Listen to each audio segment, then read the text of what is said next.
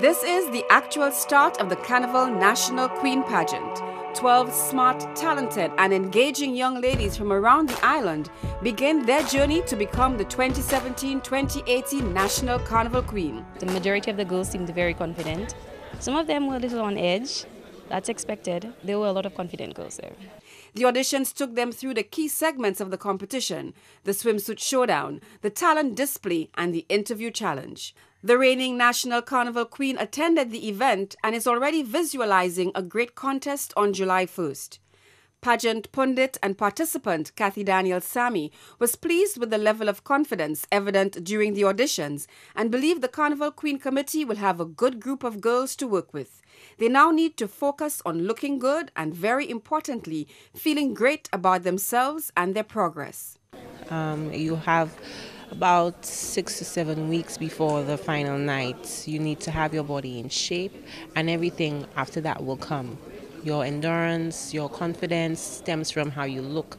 So a lot of the girls on the night will will have their confidence come from basically in the gym. So if you start in the gym, you put in the hard work, it translates through all the different parts of the of the pageant.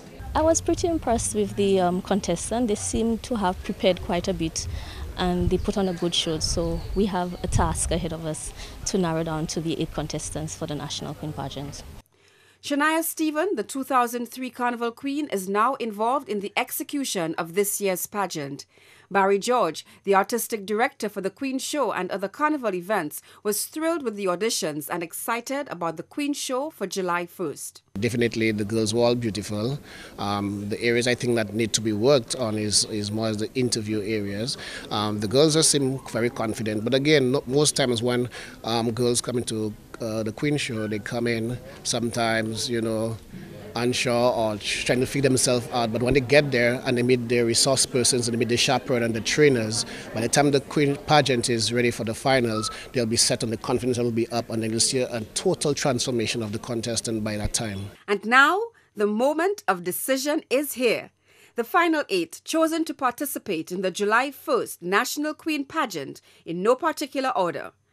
Claire Marissa Smartt, Jozel Cooper, Shannon Preville, Edel William, Shanice Edward, Lisa Marie Faustin, Chancy Fontenelle, and Nicola Fanus. One of these ladies will be crowned National Carnival Queen on July 1st, 2017.